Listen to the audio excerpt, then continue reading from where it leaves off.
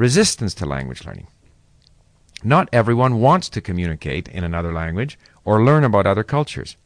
It is understandable that many people are happier just using their own language and resist learning a new one.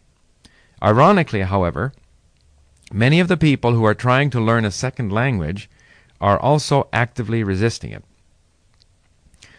Meeting a different language and culture can be stressful. It is certainly true that expressing thoughts and feelings in a new language is an intimate activity.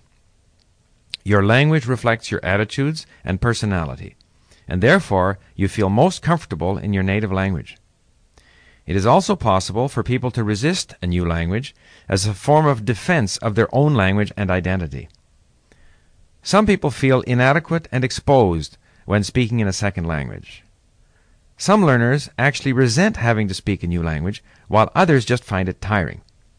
People all too often compare the new language to their own, rather than just imitating it and learning it. These reactions are similar to how people may behave when they travel abroad. Whereas eager travelers simply immerse themselves in their destination and enjoy themselves, others are looking for reasons to say that, after all, things are better at home. Either it is the food or the cleanliness or the weather that confirms to them that they were better off at home. Of course, we are always happy to come home from a trip, but why think of it while traveling? Speaking your native language is easier and more relaxing. But why focus on that while trying to communicate in a new language? It is disappointing to see that many learners do not take advantage of the environments that surround them. It is common for parents to send their children to foreign countries to learn languages. When I studied political science at the University of Grenoble, France, in the early 1960s, there were many students from England and the United States who were there to study the French language. They were mostly interested in having a good time with other English speaking friends. They did not take full advantage of the opportunity of living in France. They were not sufficiently motivated to get to know French people. As a result, they did not improve their French as much as they could have. In a similar vein, I once spoke with a Japanese professor of chemistry at a prestigious British university. He told me that unfortunately many of the language students from Japan at his university stay within their own language group.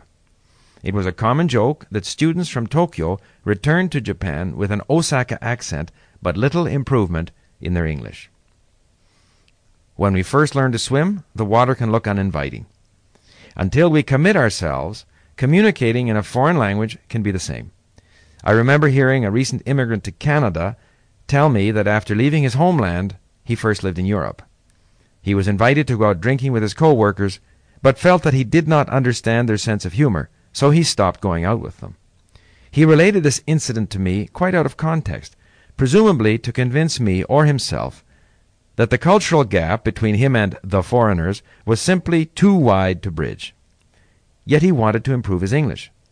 He did not realize that he had to learn to find common ground with the foreigners if he hoped to speak other languages fluently. He did not have the attitude of a linguist. The personal, professional, and cultural opportunities that come from being able to communicate in other languages are obvious. I derive enormous pleasure from speaking other languages, whether I am at home or traveling. What's more, I have built up my business through my ability to speak languages. Now, even when I am at home in Vancouver, it is not unusual for me to speak French on the telephone in the morning with a customer in Le Havre, or Swedish or German with suppliers, then chat with waiters over dim sum lunch in Cantonese, and then be on the telephone to Beijing or Nagoya in the evening speaking Mandarin and Japanese.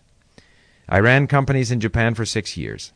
I have had occasion to give speeches to forest industry gatherings in Asia, Europe, Latin America, and North America in Japanese, Spanish, Italian, French, and Swedish, as well as English.